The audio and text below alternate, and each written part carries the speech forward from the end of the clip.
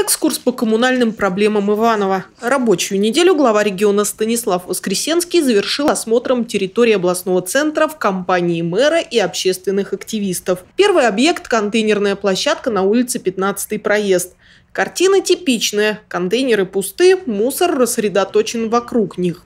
Очевидно, управляющая компания не спешит исполнять свои обязанности по уборке площадки. К организации мест сбора твердых коммунальных отходов тоже есть вопросы. В большинстве случаев отсутствуют отсеки для крупногабаритного мусора. Потому люди обычно складируют такие предметы рядом с баками. Хотя и из контейнеров рекоператор их, вероятно, отсортирует. Они их выложат, сложат, потом придут, когда в качестве стихийной свалки она образуется, будет вывозить или город, или рекоператор. Да. Проблема повсеместная и требует системного решения. Мэрия уже выиграла несколько судов с управляющими компаниями, а теперь подключились ГЖИ и прокуратура. По все районные прокуратуры дали указания идти по практике судебной, которой город выиграл. То есть прокуратура будет выступать уже э, с исковыми заявлениями к управляющим компаниям.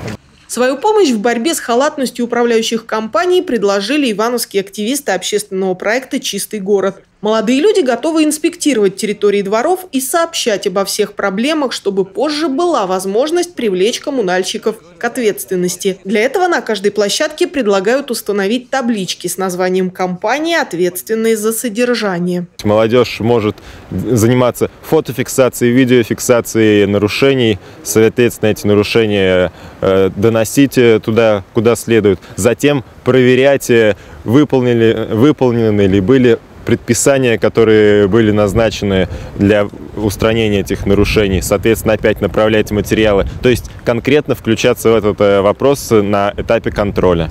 Такая помощь, по мнению главы региона, не будет лишней. Мы должны работать и будем работать, но нам важно вовлечение неравнодушных людей. Поэтому действительно, сейчас, когда ты продумай, Саша, мы когда будем сейчас э, план действий будем разбираться с этим площадкой, надо ребят использовать тех, кто, тех, кто хочет нам помогать, волонтеров. Дело благое.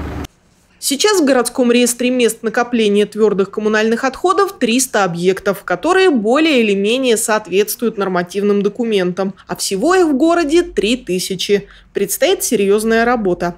Наталья Гутарина, Денис Денисов, РТВ Иванова.